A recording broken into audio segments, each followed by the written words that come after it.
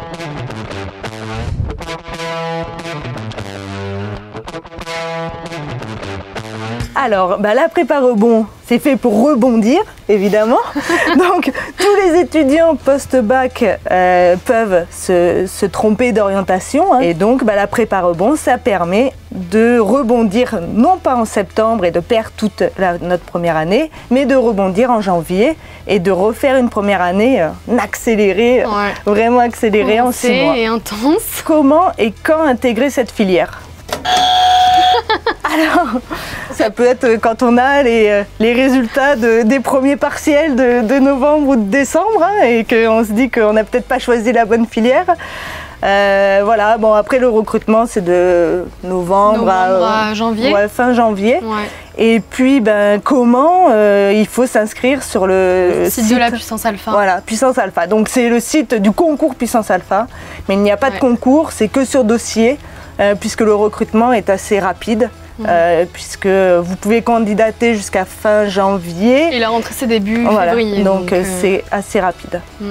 Alors, est-ce que l'on perd une année? C'est vraiment le but de cette, de cette filière, c'est justement de ne pas se réorienter, de ne pas attendre septembre pour se réorienter et de se réorienter au mois de janvier. Et donc de faire le programme de la première année en six mois. Je suis en première année de médecine, puis je me réorientais. Bah évidemment, c'est fait pour ça. hein.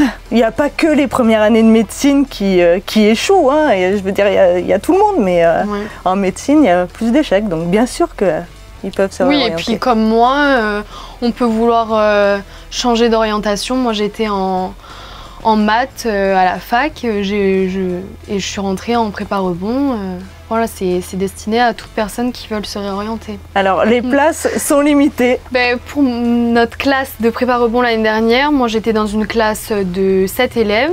L'année d'avant, c'était 8 élèves. Il n'y a pas une limitation réelle de place, mais on, on essaye d'avoir de, de petits groupes, une dizaine d'élèves sur chaque site, euh, pour avoir une bonne dynamique de groupe, et euh, parce que voilà, il faut quand même avancer euh, rapidement sur le programme, et donc, donc on prendra que les plus motivés.